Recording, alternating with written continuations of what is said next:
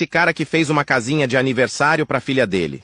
Vocês vão se surpreender com o resultado, pois no final ele coloca até móveis dentro da casa e faz uma piscina. Esse cara manja demais. Fiquem agora com o resultado.